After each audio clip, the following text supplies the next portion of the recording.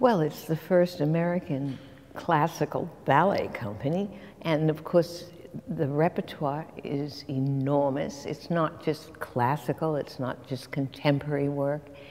It's inclusive of all of this. And it's also, you know, technique has evolved, it's gotten better and better.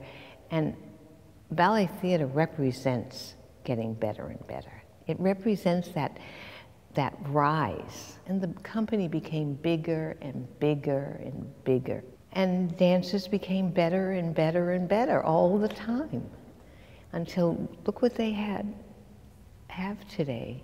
Many beautiful dancers, not one or two that can do all the roles, so many beautiful dancers. And ballet has gone ahead, and so has American Ballet Theater. It has evolved into what, how many? Three major companies in the world, three or four the Royal Ballet in England, uh, the Mariinsky Theater, the Bolshoi Theater, and, and ABT is part of that group now, undeniably. And that's exciting. Well, I've always said that I had a most fortunate career because I joined them as they started that venture. So I had the opportunity to dance every role and dance with every major artist. And, and you grow.